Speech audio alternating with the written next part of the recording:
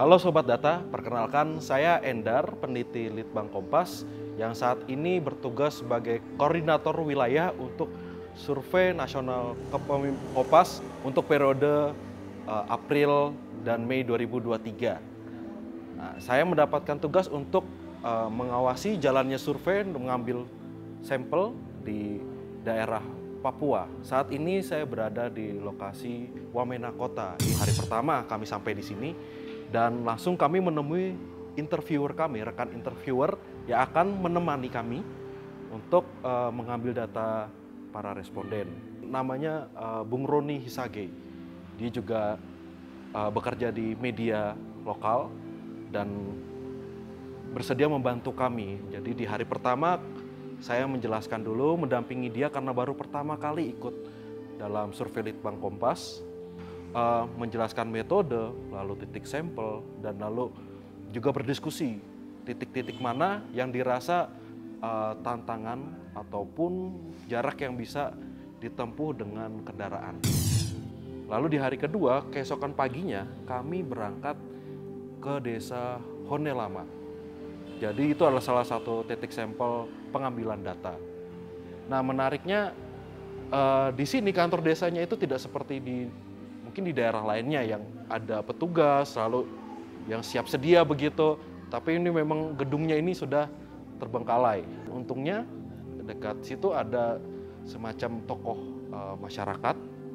Lalu akhirnya kami menanyakan apakah ada responden perempuan karena memang target kami pertama-tama mencari responden perempuan sesuai dengan ketentuan e, dalam sampel kami. Dan akhirnya e, Bung Roni ini interviewer saya temani untuk mengambil mewawancarai, mengambil data uh, dari responden perempuan ini. Lalu setelah selesai di satu responden perempuan itu, kami harus mencari titik yang cukup agak jauh, mencari titik kedua agak jauh, dan akhirnya kami menemui tokoh masyarakat namanya Bapak Leo, dan dia sangat menerima kami.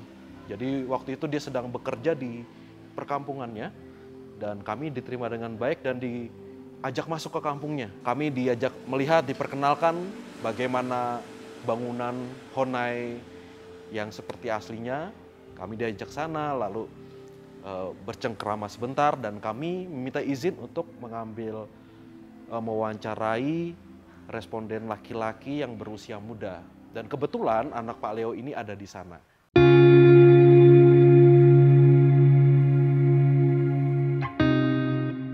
Masih di jalur yang sama di desa Hone Lama, kami mencari cukup cukup jauh. Jadi kami kalau digambarkan kami naik uh, dengan kendaraan itu lebih menanjak lagi sampai akhirnya bertemu dengan uh, kampung berikutnya di Hone Lama. Nah perkampungan ini kami mencari responden dengan kriteria usia yang lebih tua, mama-mama begitu.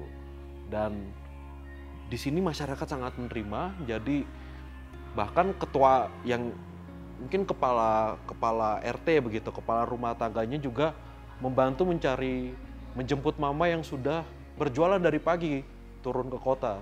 Kami wawancara mama itu dan prosesnya di sini menantang bagi interviewer karena banyak pertanyaan yang harus disampaikan dijelaskan secara berulang. Karena mengingat usia mengingat juga uh, keterbatasan bahasa karena biasanya ini bahasa lokal dan kebetulan juga perbedaan bahasa suku dari interviewer dan responden. Jadi di situ uh, kami menemukan tantangan baru di sana.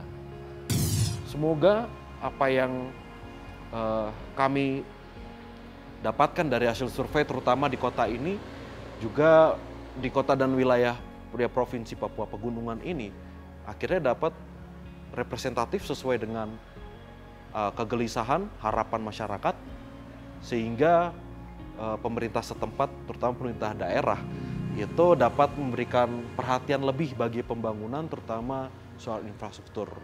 Maka sobat data uh, dengan berbagai macam kerumitan tentu kami uh, juga berharap agar hasil survei Litbang Kompas untuk Mei 2023 ini dapat sungguh-sungguh representatif mewakili masyarakat Indonesia dan akhirnya menangkap kebutuhan dan harapan sehingga pemerintah dapat melanjutkan kebijakannya, dapat membuat program-programnya yang lebih tepat sasaran dan nyata berdampak bagi masyarakat sekitar.